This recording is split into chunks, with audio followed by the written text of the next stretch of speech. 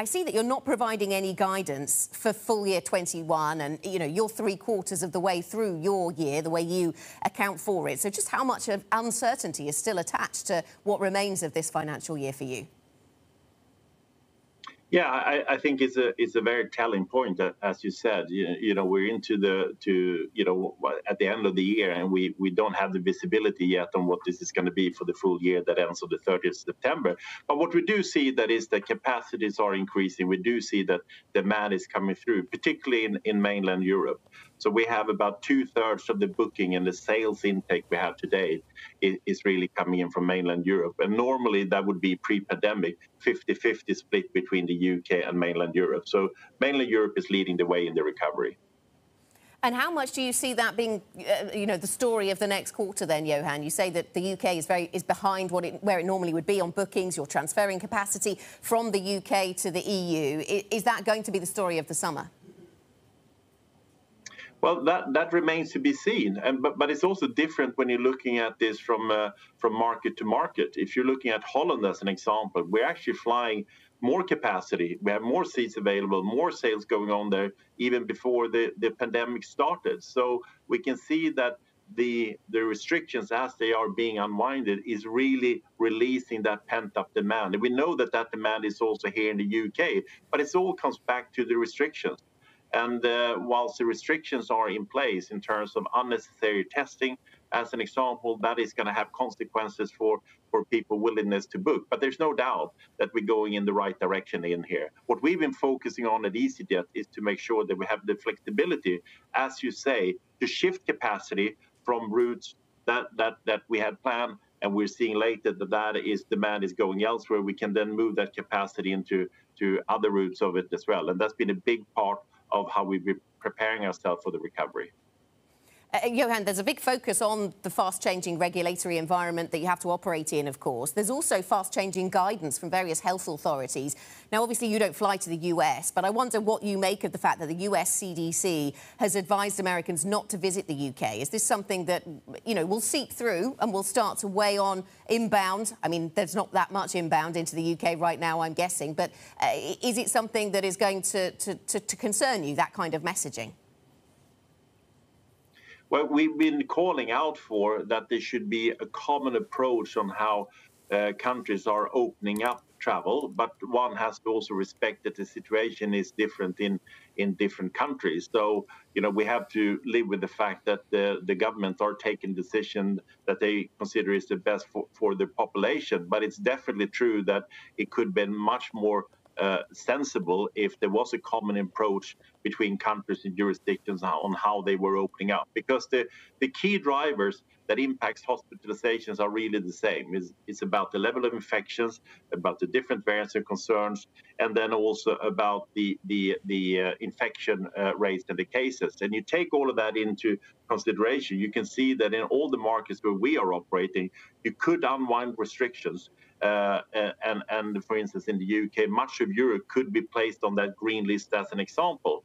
And Holland is a good good uh, place when you look at it and to say that when you have transparency on what is actually deemed to be safe travel, that means the customers mm. can plan for it and, and the companies can plan for it as well. And that is what we're looking for also here in the UK.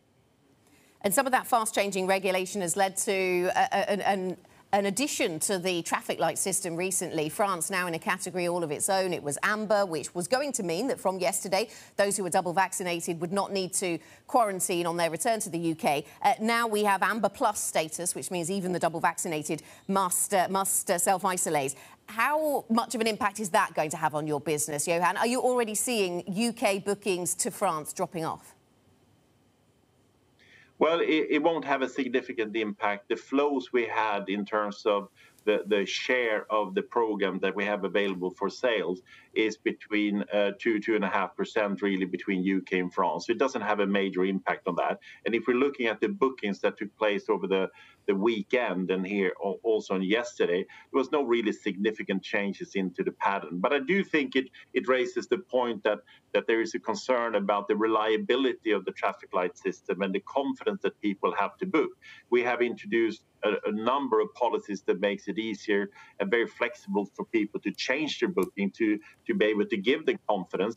But surely, when these things are introduced, that really no heads up, no warnings, and it's still very difficult to track the reasons behind that that new so-called category, it, it doesn't help the confidence here in the UK.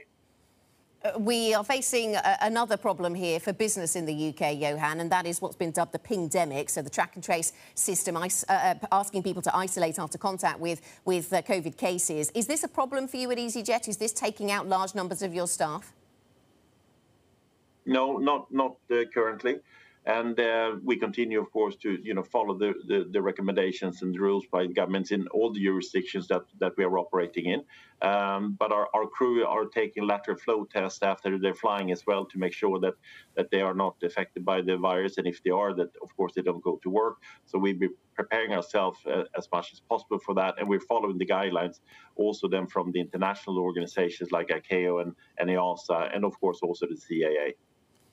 And do you have any policy on whether staff should keep using the track and trace app or whether they should turn it off? I'm just interested in businesses in various sectors, whether they have policy on that or leave it up to individuals we leave it up to the individuals to follow the rules and the guidelines that exist in all the countries that we are operating in, and and those do differ. So I mean that that is a challenge, but but uh, most important is to make sure that in the countries that we are, that we're following the rules and the, the guidelines and the recommendations together with also the recommendations that's coming out of the international aviation uh, authorities such as ICAO and, and EASA, and then also the local regulators. So that's what we're going to continue to do.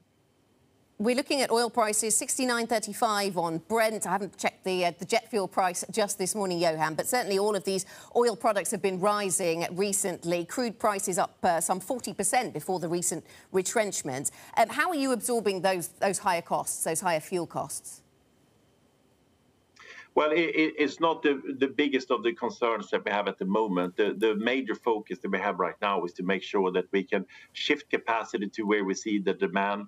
The yield environment on the capacity that, that we fly is pretty healthy.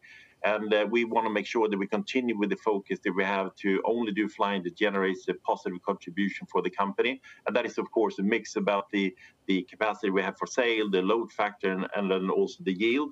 Uh, so it's not a major concern that we're looking at in terms of the fuel right now.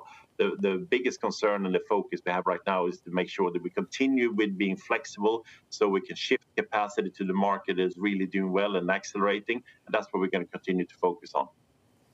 EasyJet's share price was under pressure yesterday, Johan. It was in good company. We were seeing selling of travel stocks globally. We were seeing uh, cyclical stocks being sold off, real concerns around the Delta variant. What message would you give to investors about the resilience of the business with that kind of share price performance in mind?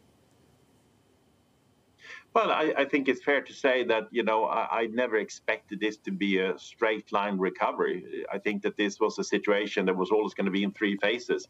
You had a survival phase for the industry, you have a, a phase of recovery, and then you're going to have a growth phase. And I think we're definitely part of the recovery phase. EasyJet came in as one of the strongest airlines in Europe. We've taken a lot of action to make sure we can manage through the crisis, come out as a winner. But we're also the largest airline in the UK. And UK has had the toughest travel restrictions out of any of the countries on which we are operating. And I think that is a, also a reflection of, about that. But in many cases, this airline has been transformed for the better throughout this pandemic. And I can't wait to come out of this and compete in, in, in normal times with less restrictions being in place.